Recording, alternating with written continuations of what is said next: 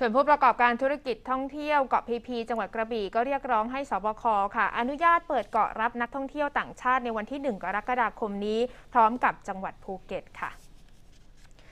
เรือหางยาวนำเที่ยวที่เกาะพีพีตำบลอ่าวนางอำเภอเมืองจังหวัดกระบี่กว่า 300 ลำ จอดเรียงรายบริเวณหน้าชายหาดมานานกว่า 1 เดือนแล้วนะคะ หลังจากอุทยานหาดนพรัตน์ธาราประกาศปิดแหล่งท่องเที่ยวทางทะเล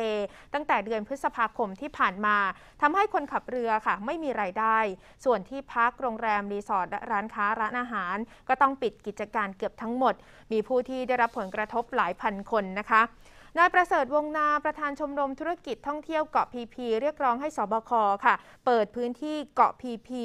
รับนักท่องเที่ยวต่างชาติได้แบบพีพี Island Sandbox ในวันที่ 1 กรกฎาคมนี้ เปิดพร้อมกับจังหวัดภูเก็ต เนื่องจากเกาะพีพีมีความพร้อมด้านมาตรการต่างๆ โดยเฉพาะจะสามารถฉีดวัคซีนให้กับประชาชนทั้งหมดบนเกาะได้เต็มร้อยเปอร์เซ็นต์ภายในเดือนมิถุนายนนี้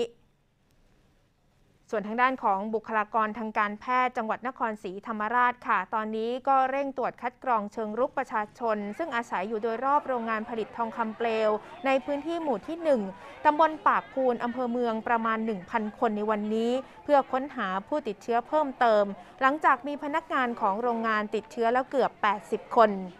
ขณะที่นายวิทยาเขียวรอดนายอำเภอเมืองนครศรีธรรมราช ก็มีคำสั่งปิดโรงงานเป็นเวลา 14 วัน แล้วก็ปิดชุมชนในพื้นที่หลายจุด เพื่อป้องกันการแพร่ระบาดของโรค ส่วนชาวบ้านหมู่บ้านทวีทรัพย์หมู่ที่ 1 ตำบลสำนักขามอำเภอสะเดา จังหวัดสงขลาค่ะ ก็เพิ่มมาตรการเข้มงวดในการเข้าออกหมู่บ้าน หลังพบว่ามีพนักงานของโรงงานผลิตถุงมือยาง ที่มีผู้ติดเชื้อแล้วเกือบ 40 คน พักอยู่ในหมู่บ้านแห่งนี้หลายคน นอกจากนี้ยังมีคลัสเตอร์พนักงานขับรถขนส่งสินค้าระหว่างประเทศที่อาศัยอยู่ในอำเภอสะเดา ในกลุ่มนี้มีผู้ติดเชื้อแล้ว 9 คนนะคะ ขณะนี้อยู่ระหว่างตรวจสอบนะคะว่าติดเชื้อสายพันธุ์ใด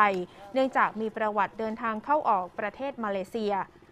ส่วนทางด้านนายจำเริญทิพยพงษ์ธาดา ผู้ว่าราชการจังหวัดพังงา มีคำสั่งปิดโรงเรียนทุกแห่งในพื้นที่อำเภอคุระบุรี โดยห้ามเข้าไปในพื้นที่โรงเรียนเด็ดขาด หลังพบมีผู้ติดเชื้อบริเวณชุมชนแพปลา ในพื้นที่หมู่ที่ 3 ตำบลคุระอำเภอคุระบุรีแล้ว 15 คนค่ะ